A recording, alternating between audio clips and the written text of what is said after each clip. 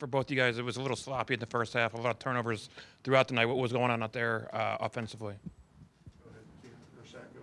Um, I feel like we were just letting them speed us up a little too much in the, first half. Um, I feel like we didn't make all the right reads that should have been made, but um, that's something we talked about at halftime and kind of helped us uh, bring those down a little bit.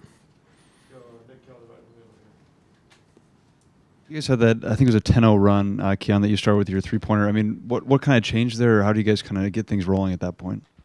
Um, I don't honestly even remember that run, but probably we locked in on defense. I know uh, I've said it before. Like once our defense gets going, it just makes everything easier. So um, really just lose yourself on the defensive end and just let the offense flow.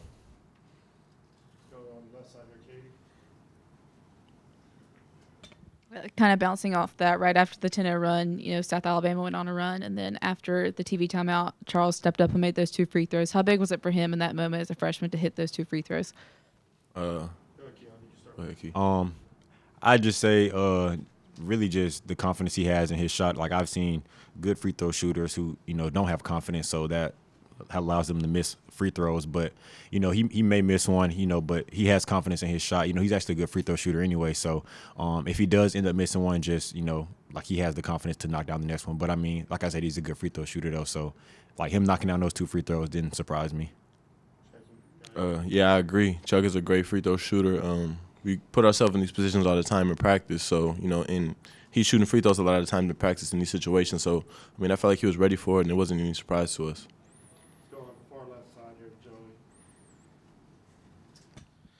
Hey guys, uh, two big uh, dunks in the second half. One by Darius Miles, one by J.D. Davison. Um, on nights like tonight, when you know shots aren't necessarily falling, how big are those are those dunks and you know providing you guys energy and momentum?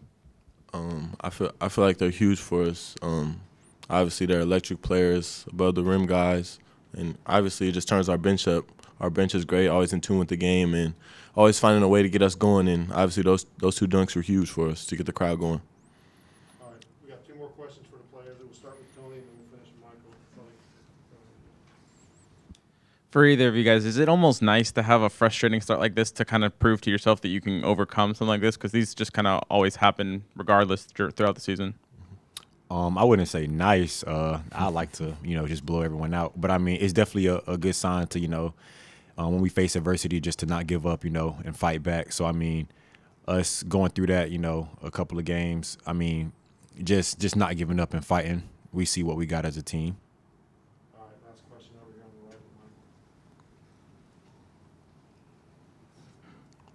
Also on the line of motivating moments. So what's it like when when you see uh, Oats getting a T, uh, you know, almost having to be restrained? what's what's that like for you guys? Um, I mean, hey, I don't think we've lost since he's got a tech since he's been here. So I mean, I feel like that's a good stat. So I mean, he's into the game. He's very passionate about the game, and I mean, obviously we don't want to don't want to give the other team free points, but you know, it just fires us up more to you know just double down and get stops and, and win the game.